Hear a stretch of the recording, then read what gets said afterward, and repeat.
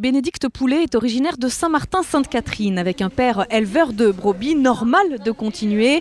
La jeune creusoise de 19 ans connaît déjà bien l'ambiance du salon. Elle a participé à la finale nationale des Olympiades il y a trois ans. C'est immense. Par rapport à la Creuse, oui, c'est très immense. Beaucoup de visiteurs, beaucoup de personnes qui posent des questions. Dorian Pignot, lui, est un peu plus stressé. C'est sa première participation à ce niveau. Ben oui, je suis, je suis très content, mais je suis euh, assez stressé quand même. euh, parce que ben, c'est Paris quand même.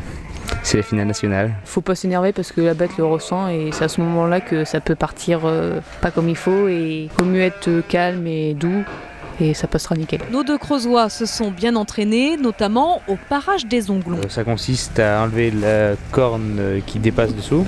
C'est ça, c'est la manicure. Donc c'est oui, c'est moins de 4 minutes pour euh, la taille. Parmi les épreuves aussi, évaluer l'état de santé d'une brebis. Donc euh, on commence déjà par la troisième paupière.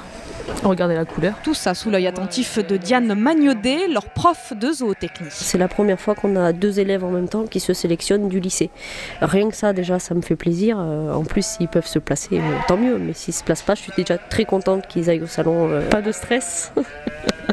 Profiter au maximum de ces deux journées-là qu'ils ont gagnées.